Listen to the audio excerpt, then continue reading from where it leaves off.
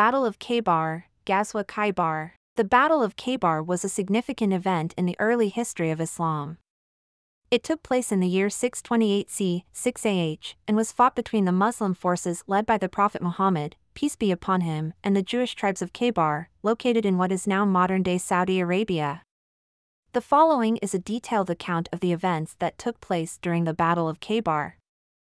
Background The Jewish tribes of Khaybar had been involved in a number of conflicts with the Muslims, and they had fortified their settlements with strong fortifications to withstand any attack.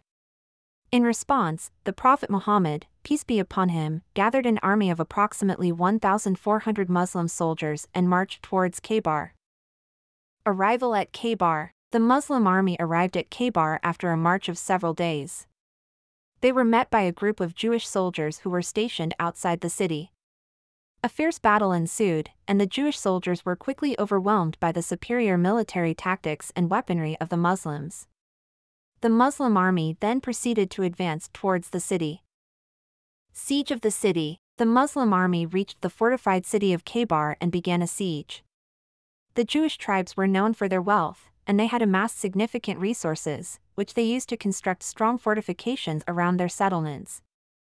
The Muslims were faced with the difficult task of breaching these fortifications in order to capture the city. Over the course of several days, the Muslims engaged in a series of battles and skirmishes with the Jewish defenders.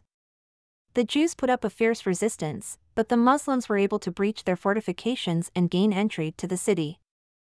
Companions of Prophet Muhammad, peace be upon him, the Sahabas, or the companions of the Prophet Muhammad, peace be upon him, played a crucial role during the siege of Khaybar they were among the bravest and most loyal supporters of the Prophet, and their unwavering commitment to the cause of Islam helped to secure a decisive victory for the Muslim army.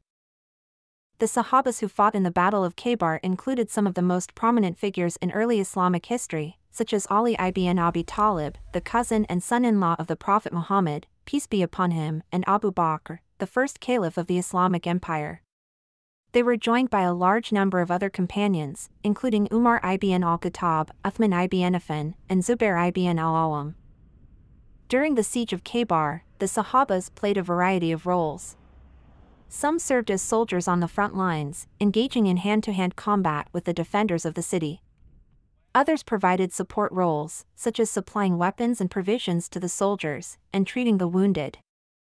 One of the most significant roles played by the Sahabas during the siege was that of leadership. Many of the Sahabas were experienced military commanders, and they provided strategic guidance and direction to the Muslim army. They also played a key role in boosting morale and inspiring the soldiers to fight with courage and determination. The Sahabas also played a crucial role in spreading the message of Islam during and after the siege of Khaybar. They worked tirelessly to promote the teachings of the Prophet Muhammad, peace be upon him, and many of them went on to become influential scholars and leaders in the Islamic community. Overall, the Sahabas played an essential role during the siege of Khaybar. Their bravery, leadership, and unwavering commitment to the cause of Islam were instrumental in securing a decisive victory for the Muslim army, and their legacy continues to inspire Muslims around the world to this day. The Battle of the Stronghold the Muslims then encountered the strongest Jewish stronghold in the city, known as the Fortress of Al-Khamis. The fortress was heavily defended, with multiple layers of walls and trenches surrounding it. The Muslim army launched a fierce assault on the fortress, but they were initially unable to breach its defenses. The Jews were well prepared for the attack, and they launched a barrage of arrows and stones at the Muslim soldiers, causing significant casualties. However, the Muslims were determined to capture the fortress, and they continued their assault. After a long and grueling battle, the Muslims were finally able to breach the fortress and capture it. The Battle of Khaybar was a significant military engagement that took place in 628 C between the early Muslim community and the Jewish inhabitants of the Khaybar Oasis, located in what is now modern-day Saudi Arabia. The Muslims were led by the Prophet Muhammad, peace be upon him, while the Jewish defenders were commanded by their leader, a man named Kinana ibn al-Rabi. One of the most famous stories from the Battle of Khaybar is the tale of Hazrat Ali's defeat of the Jewish warrior Marhab. Marhab was a towering figure who was said to be over seven feet tall and was renowned for his strength and fighting skills. He was armed with a massive sword that was so heavy it was said to require two men to lift it. When the Muslim army approached Khaybar, Marhab came forward to challenge them to single combat. The Prophet Muhammad, peace be upon him, initially offered the challenge to his companions, but they all declined, knowing how fierce a warrior Marhab was. Finally, Hazrat Ali, the cousin and son-in-law of the Prophet, stepped forward to accept the challenge. Ali was known for his bravery and skill in combat, and the Prophet had once declared him to be the Lion of God. The two warriors faced each other on the battlefield, and Marhab began to taunt Ali, saying that he was too young and inexperienced to defeat him. However, Ali remained calm and focused, and when Marhab charged at him with his massive sword, Ali deftly dodged the blow and struck him with his own sword. Marhab fell to the ground, mortally wounded, and as he lay dying, he asked Ali who he was. Ali replied that he was the Lion of God, and Marhab is said to have exclaimed, I bear witness that there is no God but Allah, and Muhammad is his messenger. The defeat of Marhab was a significant turning point in the siege of Khaybar, as it demoralized the Jewish defenders and inspired the Muslim army to fight with renewed vigor. Hazrat Ali's victory over Marhab has become an important part of Islamic history and is often cited as an example of the bravery and skill of the Prophet's companions. The story of Hazrat Ali's victory over Marhab is also significant because it reflects the importance of personal courage and bravery in the Islamic tradition. The Prophet Muhammad often stressed the importance of standing up for what is right and just, even in the face of great adversity. Hazrat Ali's victory over Marhab is seen as an embodiment of this principle, as he was willing to put himself in harm's way to defend the Muslim community and uphold the principles of justice and righteousness. In addition to Hazrat Ali's victory over Marhab, there were many other significant moments during the Battle of Khaybar. The Muslim army faced a fierce resistance from the Jewish defenders, who were skilled warriors and had fortified their position in the oasis. However, through a combination of bravery, skill, and perseverance, the Muslims were able to overcome the defenders and emerge victorious. The Battle of Khaybar was a significant event in the early history of Islam and had far-reaching consequences for the Muslim community. It demonstrated the power and resilience of the Muslim army, and helped to solidify the position of Islam in the Arabian Peninsula. Hazrat Ali's victory over Marhab remains an important symbol of personal bravery and courage in the Islamic tradition, and continues to inspire Muslims around the world to this day. The Conquest of Khaybar with the capture of the fortress of Al-Khamis, the Muslims were able to gain control of the city of Khaybar. The Jewish tribes surrendered and agreed to live under Muslim rule, paying an annual tribute in exchange for protection. The Muslims also gained access to the significant wealth of the Jewish tribes, including their agricultural land, date palm groves, and other resources. The capture of Khaybar provided the Muslim army with a significant source of wealth, which was used to finance future military campaigns. Significance of the battle The Battle of Khaybar was significant for a number of reasons.